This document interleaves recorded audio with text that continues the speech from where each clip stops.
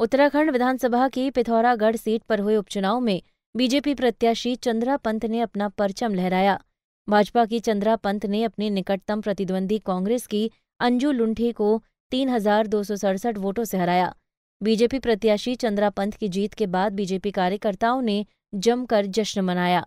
जीत के बाद चंद्रा पंत ने जनता को धन्यवाद दिया। उन्होंने कहा कि प्रकाश पंत के अधूरे सपनों को वो पूरा करने की कोशिश करेंगी। चुनाव भारतीय जनता पार्टी ने मुझ पर विश्वास दिलाया था और ये पिथौरागढ़ की जनता ने मुझे जो आशीर्वाद दिया, उसके लिए मैं बहुत बहुत जनता का, इस पिथौरागढ़ की जनता का हार्दिक अभिनंदन करती हूँ और आभार व्यक्त करती हूँ और धन्यवाद देती हूँ कि उन्होंने मुझे इस चुनाव में, इस विपद की घड़ी में बहुत आगे आशीर्वाद दिया, उनको मैं नमन करती हूँ। मेरी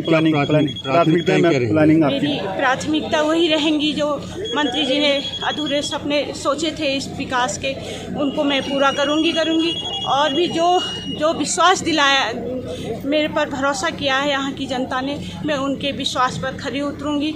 और मेरी प्राथमिकता होगी कि मैं इस क्षेत्र के विकास के लिए हमेशा प्रयत्नशील रहूँगी और हमेशा इस विकास को आगे बढ़ाने का प्रयत्न करूँगी। आपको बता दें कि चंद्रा पंत त्रिवेंद्र सिंह रावत मंत्रिमंडल में वित्त मंत्री रहे प्रकाश पंत की पत्नी है। प्रकाश पंत का इस साल बीमारी के चलते निधन हो गया था, जिसके बाद पिथौरागढ़ सीट पर उपचुनाव हुए। इस चुनाव में बीजेपी प्रत्याशी चंद्रा और कांग्रेस प्रत्याशी अंजू दोनों ने ही पहली बार विधानसभा चुनाव लड़ा। पंजाब केसरी टीवी के लिए पिथौरागढ़ से यशवंत महर की रिपोर्ट।